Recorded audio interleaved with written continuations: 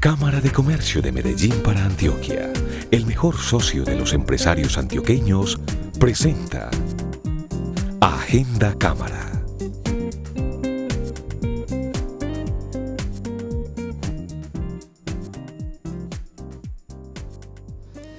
Hola, bienvenidos. Esto es Agenda Cámara, el clúster Servicios de Medicina y Odontología, que ya cumplió cinco años de estar trabajando en esta ciudad y en esta región está en una reestructuración estratégica. Hay nuevas ideas, noticias también para los empresarios de la región. Y para conocerlas, hemos invitado al director de este clúster. Él es el doctor Adolfo León Moreno Gallego, a quien le damos la bienvenida.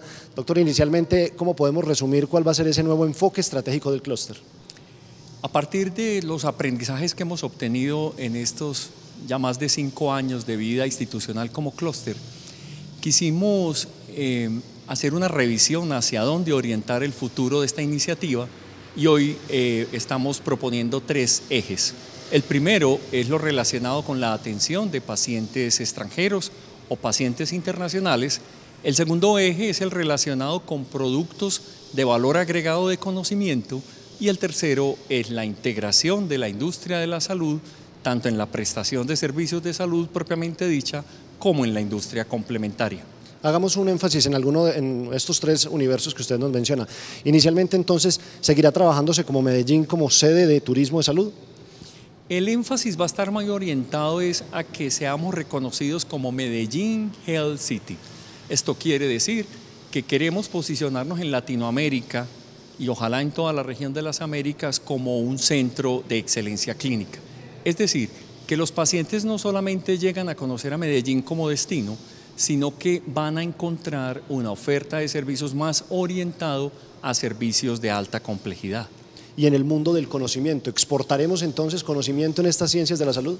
Claro, la revisión estratégica nos ha permitido identificar que no es gratuito el prestigio y el reconocimiento de las instituciones hospitalarias de la ciudad que obedece es a un trabajo muy juicioso de muchos años de incorporar conocimiento, de incorporar nuevas tecnologías que nos permiten que ese conocimiento no solamente sirva para ofrecer mejores servicios a los pacientes tanto de la ciudad como quienes nos visitan, sino que ese conocimiento lo podemos exportar en temas como telemedicina, teleasistencia, cursos de formación, entrenamientos eh, al servicio tanto de los pacientes como de los profesionales médicos y de otras disciplinas que trabajan en salud de la región.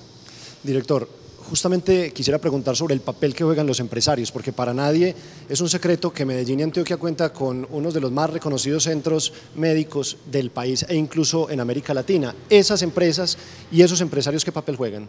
Siguen siendo los líderes de todo este proceso de promoción de la ciudad ellos nos acompañan, de hecho, son la fuerza viva del clúster. Eh, participamos en las misiones que hacemos fuera del país para promocionar la ciudad. Mm, son muy importantes en atender las visitas que llegan de los países vecinos que quieren conocer de la oferta de servicios de salud de Medellín. Por lo tanto, son los líderes de todo este proceso de la iniciativa clúster. ¿Cuáles son las metas finales eh, al cabo de esta estructuración estratégica?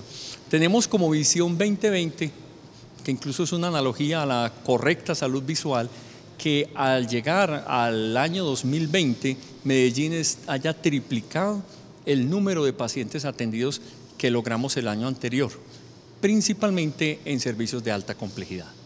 Muchas gracias por su presencia en Agenda Cámara y por contarnos estas buenas noticias. Noticias que ustedes pueden también profundizar en el sitio web que aparece en la pantalla en este momento y también que estamos informando permanentemente en nuestra plataforma de medios y en nuestras redes sociales. Aquí en Agenda Cámara. Será hasta una próxima oportunidad en que nos encontremos.